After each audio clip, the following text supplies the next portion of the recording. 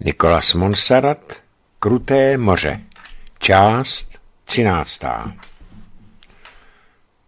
Torpedo zasáhlo a zapálilo první loď kolem poledne. Byla to velká tanková loď. Všech 21 lodí v konvoji bylo těžkotonážních, určených většinou pro Maltu a východní středomoří. Byla to dokonalá sbírka plavidel. Tu už stálo za to pronásledovat a vyplenit a pronásledování a plenění neznalo milosti. Rychlá zkáza první lodi označila začátek osmidenní bitvy, která ukusovala vlčí sousta z konvoje, vybírala daň každou noc se strašlivou pravidelností a při jmenovitě, jmenovité prověrce stavu zasvítání ošklivě připomínala dětskou říkánku o ubývajícím počtu černoušků. Rvali se ze všech sil, ale napadla je přesila příliš veliká a trhny v pancíři proti takové síle kroužících nepřátel nebylo možné uhlídat. Ve vaší oblasti je devět ponorek, obšťastnila je opět při soumraku admiralita.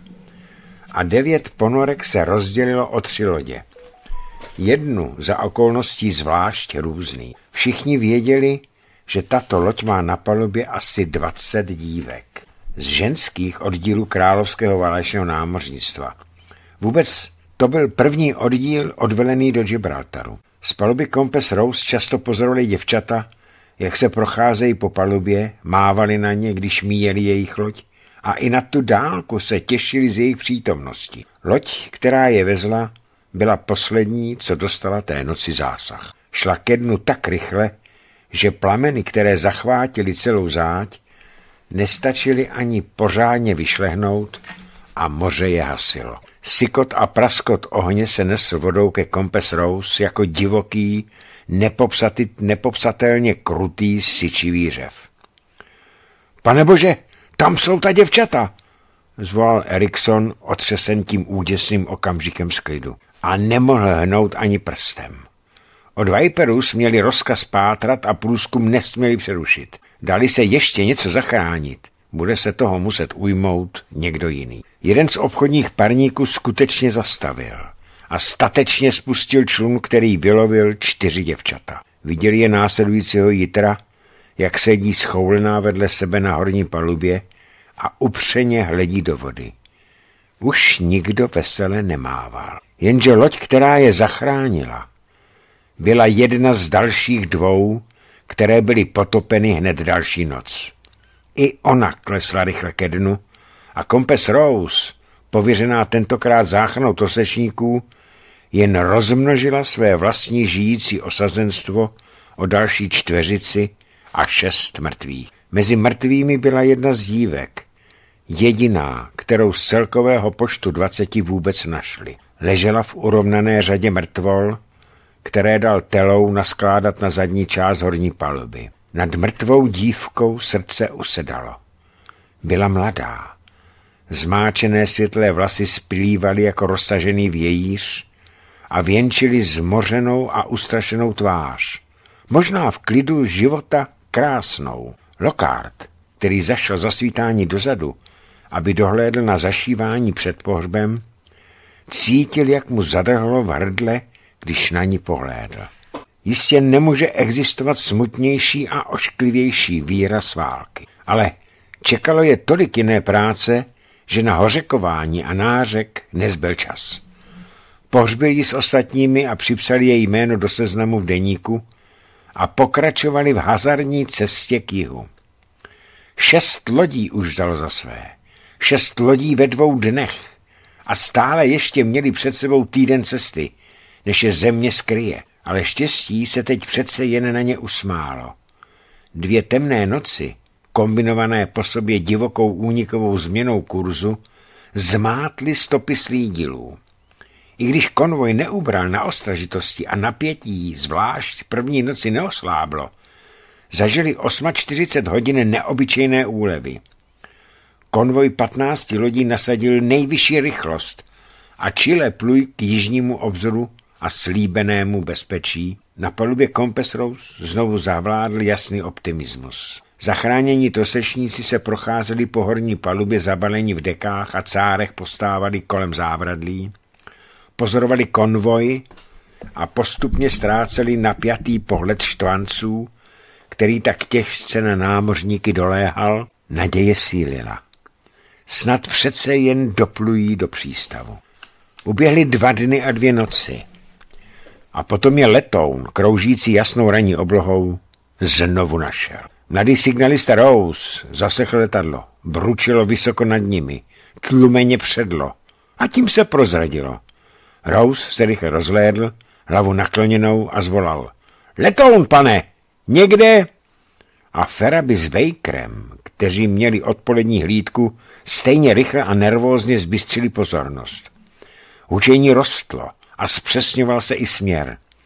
Někde vlevo od jejich středu, odkloněno od konvoje, v linii k vzdálenému španělskému pobřeží. Pane kapitáne, volal Baker zvukovodem, slyšíme letadlo. To ale Erikson již vystupoval po schůdcích na můstek, protože i jeho už dotěrný lomo zburcoval. Přimouřil oči v oslnilém světle jasného dne a rozhlédl se. Támhle je, zvolal náhle a ukázal. Po jejich středu se v perlové raní mlze, ležící nízko nad obrozorem, objevilo letadlo.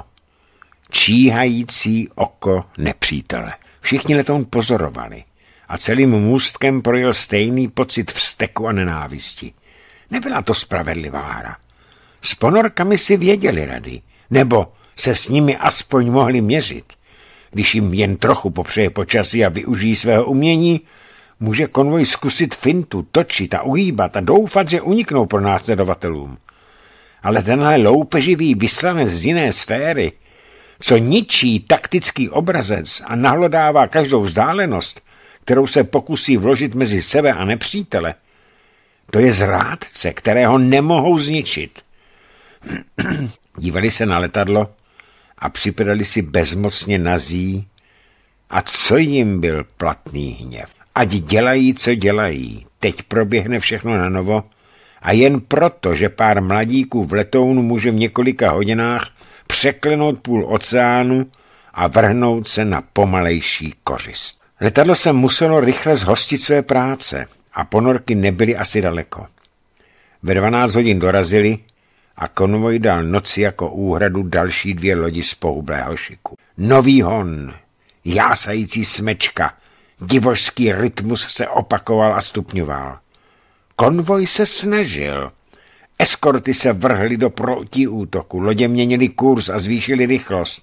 A všechno to bylo na nic. Šestý den zasínal, nadešla šestá noc. Přesně o půlnoci se poplašné zvonky rozřinčely. První nouzová světlice vzlétla k noční obloze a oznamovala, že smrtelně zasažená loď volá o pomoc. Plameny rozlévaly červený odlesk po hladině vzdouvajícího moře, na níž se loď bezvládně zmítala. Až se konečně proměnila v myhotající se olejovou hranici a konvoj se od ní zvolna vzdaloval. Na další dvě hodiny zavládl klid. Všichni zůstali v pohotovosti na svých poplachových stanovištích a mířili pod černou bezměsíční oblohou s celým konvojem na jich. A potom se od otevřeného moře na pět mil od nich násilí vrátilo znovu. Tu mu roztěl zářivý oranžový blesk. Potuchl.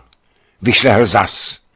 Potom se spytvořil a zmizel. Opět zasažená loď. Ale tentokrát to pro Compass Rose nebyla prostě loď. Tentokrát to byla Sorel. Všichni věděli, že to musí být Sorel, protože jí sami přednedávnem předávali rozkaz od Viperus, podle něhož na tu vzdálenost jiná loď být ani nemohla. V případě útoku, zněl rozkaz, zdrží se Sorel dnesní noci pět mil v závěsu na oceánské straně konvoje a popluje jako zadní zajištění. Odpalováním náloží a světlicemi odpoutá pozornost nepřítele od hlavního voje. Světlice spatřili hned z večera, z večera ale nevšímali si jich. Znamenali, že Sorel se jim za zády činí a provádí svou práci podle plánu. Podle těch dvou hodin, co měli klid, se zdálo, že záměr pravděpodobně vyšel. Rozhodně to byl ideální manévr, který odklonil aspoň jeden útok od správného cíle. Ale průběhem procesu se na to někdo musel přeci doplatit. Nebylo tu napřažené rámě, které by zastavilo odstřel torpéda. Sorel se stala cílem výměnou za bohatší cíl, přijímajíc svůj konec, obklopena tmou daleko za konvoje. Chuděra Sorel. Ubohá sestřička. Námořníci na Compass Rose, ti, kteří ji znali ze všech nejlíp, byli teď jako truchlízí pozůstalí, rozdělení tmou stáli na kroky od sebe, ale spojovali je úděs a společný steksk. Erikson hned po výbuchu zazvonil radistony. Viperus od Compass Rose diktoval. Sorel v léčce torpédována. Mohou se odpoutat a hledat rozsečníky. A potom zakódovat, rozkázal krátce spojaři, který přejímal zprávu. Tak rychle, jak dovedete. Odešlete fónii. Po odeslání zprávy čekali tiše na můstku, hleděli na matný trup nejbližší lodi a občas se otáčeli zpátky k torpédované Sorel. Nikdo nepromluvil. Nebylo třeba slov. Jen myšlenky. A i u těch bylo málo. Zvonek z radiokajuty ostře zazvonil. Rozrazil ticho a hlavní signalista Wells, stojící vedle zvukovodu, se k němu sehnul. Mustek, řekl a chvíli naslouchal. Potom se zpřímil a oslovil kapitána. Odpověď z Viperus, pane kapitáne. Neopouštějte před svítáním konvoj. Znovu zavládlo chorobné, strnulé ticho. Erikson zatěl zuby. Mohl to přece vědět. Chladná úvaha ani jinou odpověď nepřipouští. Viperu si prostě nemůže dovolit škrtnout další jednotku z ochrany a odeslat ji na samostatnou práci. Jediná správná odpověď. Ale po Kristu tvrdá. Vzadu, ztracení v osiřelé tmě, vzdálení deset či více mil, umírali námořníci zvláštního ražení. Námořníci, které dobře znali. Námořníci jako oni. Umírali, anebo při nejmenším zůstala jejich záchrana otázkou času, který si svůj díl smrti stejně vybere. Sorel byla první loď z jejich skupiny, která svůj osud prohrála a bylo těžké smířit se s tím, že už nepopluje po jejich boku za konvojem jako celé dva roky. Žili na ní, řídili ji, jejich přátelé, muži s nimi žrávali tombolu nebo se setkávali v hospodách na břehu. Muži jim, kterým to vždycky nařezali ve fotbalu. Rozednívá se, řekl náhle Morel a prolomil jarmo ticha na, svů, na můstku. Ještě musíme počkat dvě hodiny.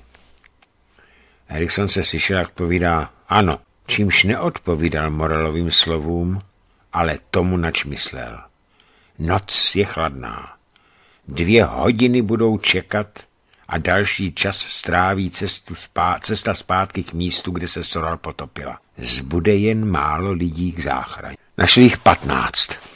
Patnáct z devadesátí člené posádky. Přišli na ně koncem ranní hlídky. Objevili je jako dvě skvrnky, které se na talíři neštěřeného moře ve vzdálenosti tří mil proměnili v záchranné prámy. I když ten obraz už důvěrně znali, zmocnila se jich lítost, když jej uviděli znovu a měli se přiblížit k prámům obtěžkaným hroznem zaolejovaných těl a pohupujícím se mezi troskami sorel.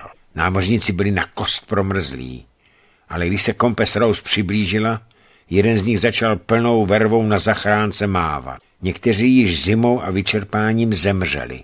Málo platné, že byli na prámech.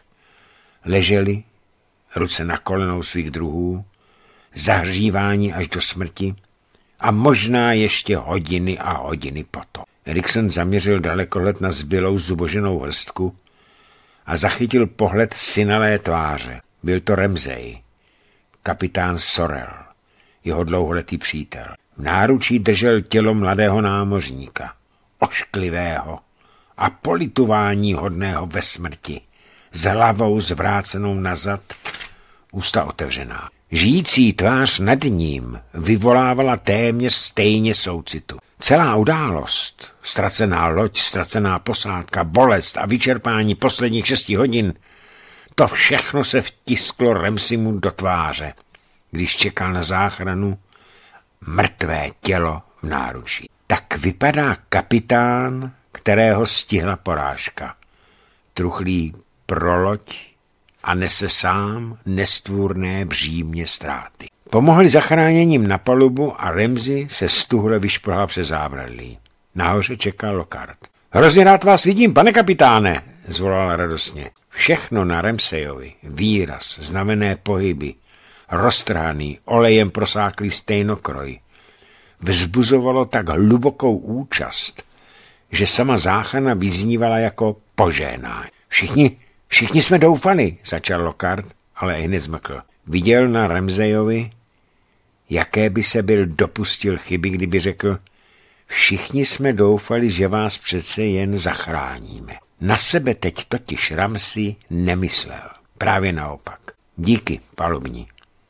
Ramsi se vpřímil, otočil se a ukázal neurčitě na námořníky, kteří byli dosud na prám. Postaráte se o ně, víte, jeden, dva, možná víc, ty na tom jsou dost bledě. Lokár přikývil.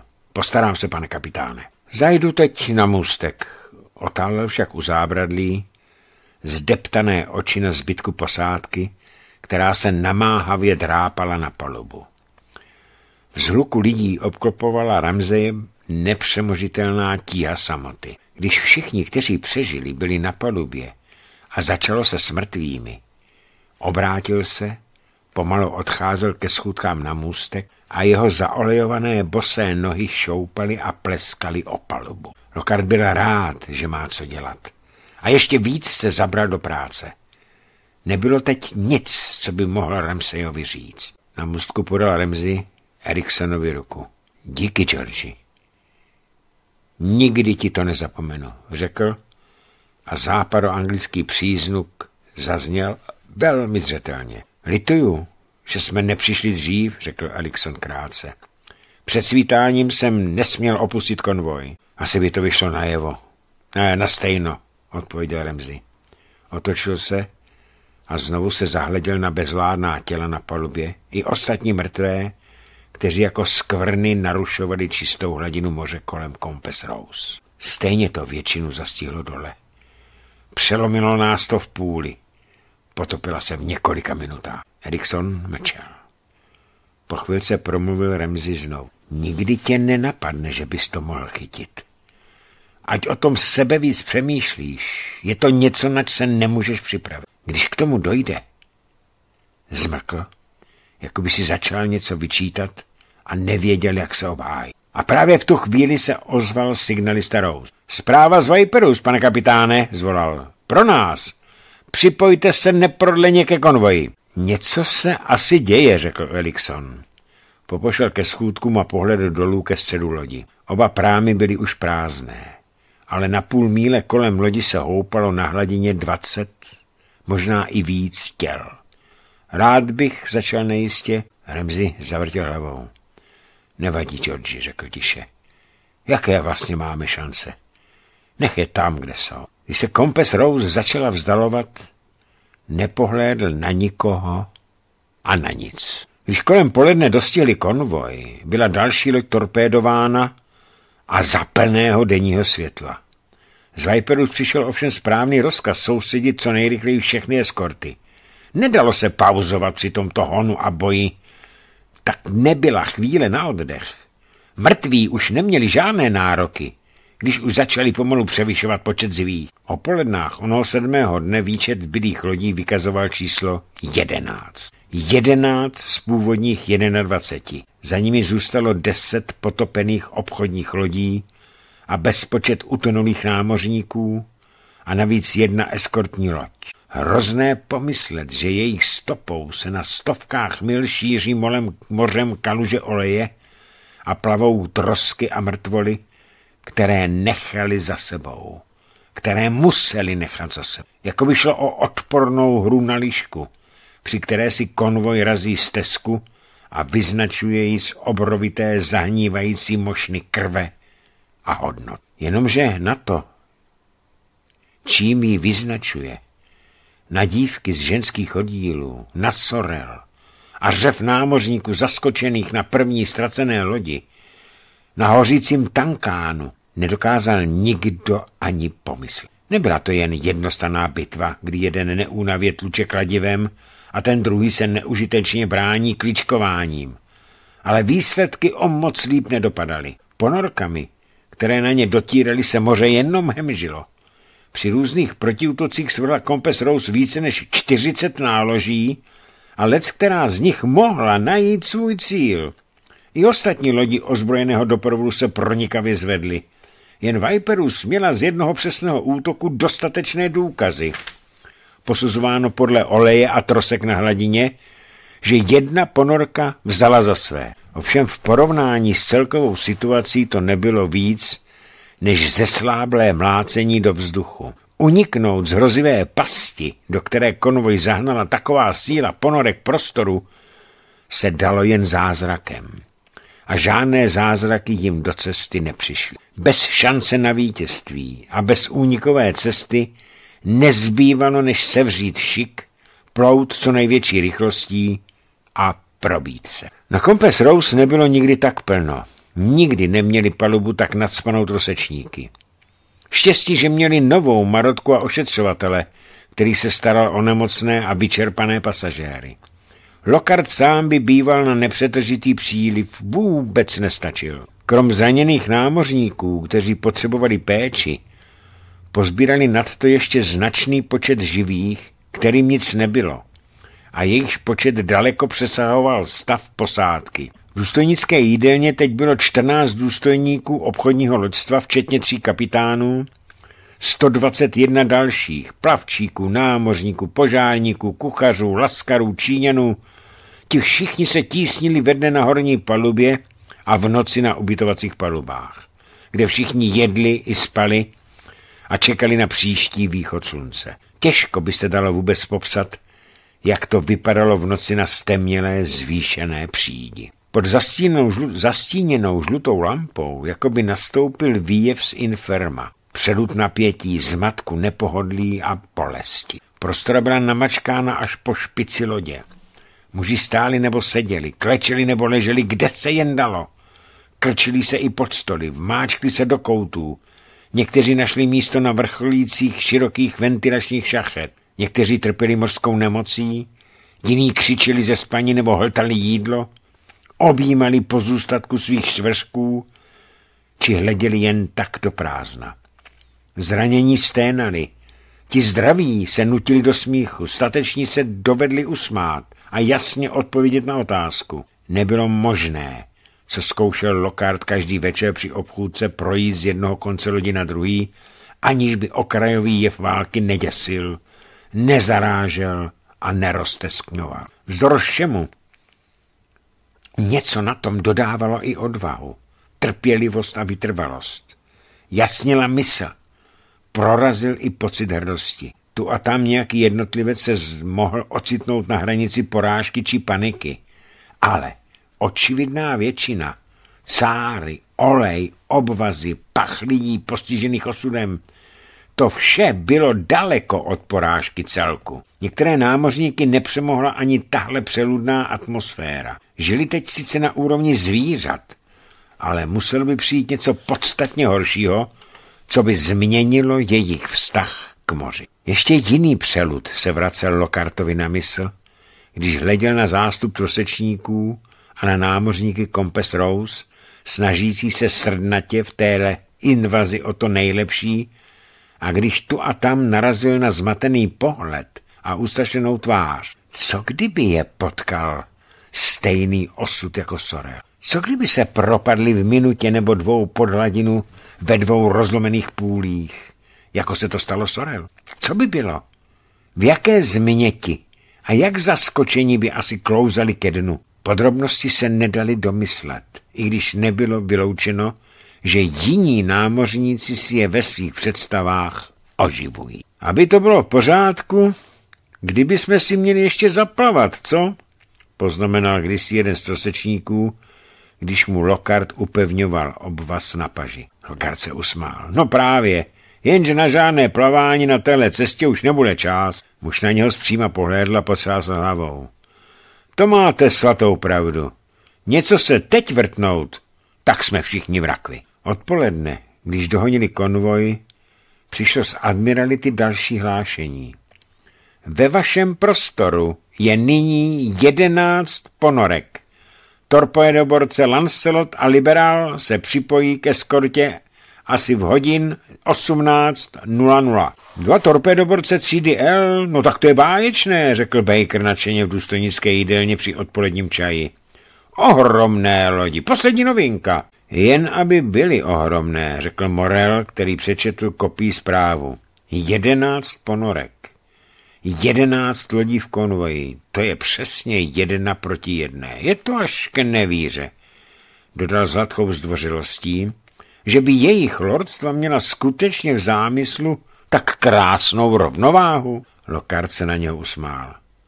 Začíná tě to rozčilovat, Johne? Morel chvilku mlčel a uvažoval. Musím připustit, řekl konečně, že nic k radování na téhle situaci nevidím. Ať podnikneme cokoliv. Ty zatracené ponorky nám vždycky nějak protrhnou zajištění. Přišli jsme bezmála o polovinu lodí a k Gibraltaru, je to pořád ještě dva dny. Odmlčel se.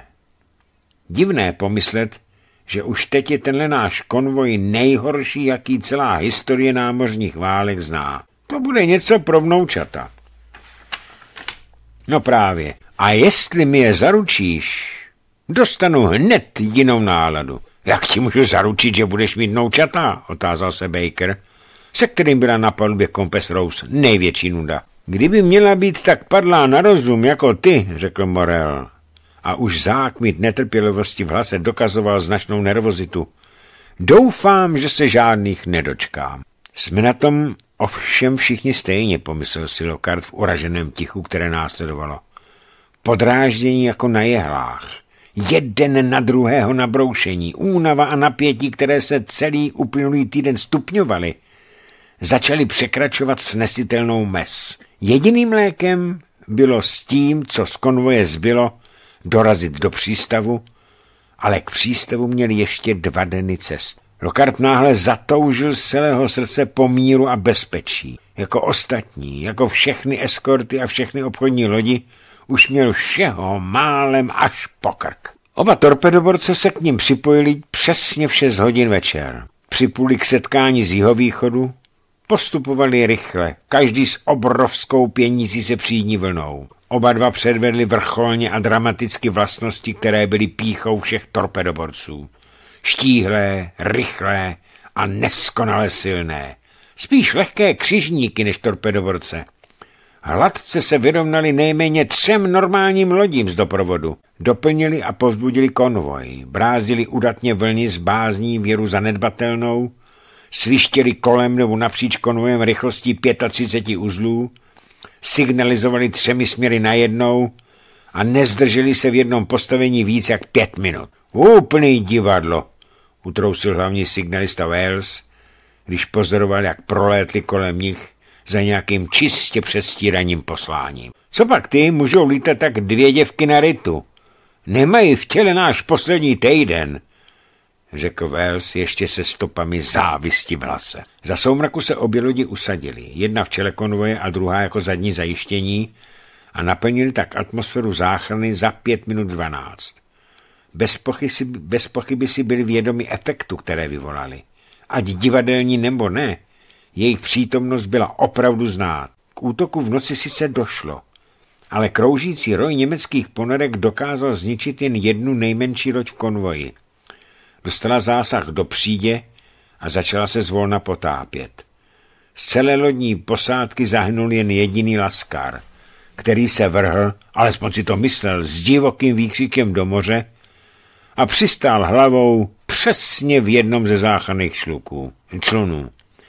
Stačilo maloučku fantazie a nedalo se zabránit, aby i, u, i uprostřed kolosálního vyhlazování nepůsobil tento komediální odchod směšně. Nicméně tato loď byla jedenáctou ztracenou z původního počtu 21. Byla to víc než polovina. A tím získali německé ponorky nový rekordní úspěch. Nastávající noc, osmá a poslední noc boje, nyní už v okruhu 300 mil od Gibraltaru, vypadala, že teď pro změnu v plundrování polev. nepolevili.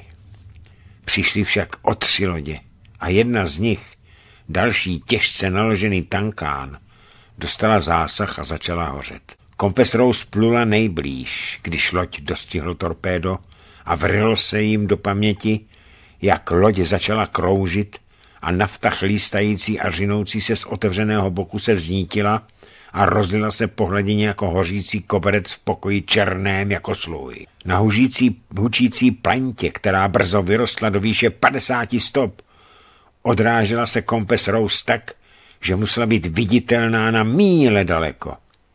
I při rychlé plavě představovala teď dokonalý cíl a Erikson, který vážil zda zastavit a vylozit trosečníky, nebo se bez ospravedlnění vyhnout riziku, dovedl si jasně představit, jak budou vypadat, když zastaví proti plamené stěně. Kompes Rose se svou posádkou a bolestně napaběrkovaným nákladem zachráněných se stane pevným terčem na deset mil, ale tentokrát měli za úkol zachraňovat. A ve vodě plavali námořníci i záchranné čluny, spuštěné z cisternové lodi, čluny, které se snažili rychle odplout od ohnivého sloupu. Čekala práce. Práce milosrdenství a s přijatelným rizikem se vyplatil i hazard se dvěma sty životů. Zachránili se jich o padesát víc a moudrá opatrnost musela ustoupit myšlence na lidskost. Rozhodnutí záleželo jen a jen na Eriksonovi. Byl to jeho okamžik. Čistá zkouška nervů pro kapitán. Zatímco Erikson seděl tiše na můstku a uvažoval o vyhlídce na úspěch, nebylo na lodi muže, který by si s ním místo chtěl vyměnit. Když se rozkaz ozně, ozval, zněl řízně a rozhodně. Zastavte stroje! Zastavit stroje, pane kapitáne! Stroje zastavený. Kormidelní kolo střední poloha, pane kapitáne. Palubní?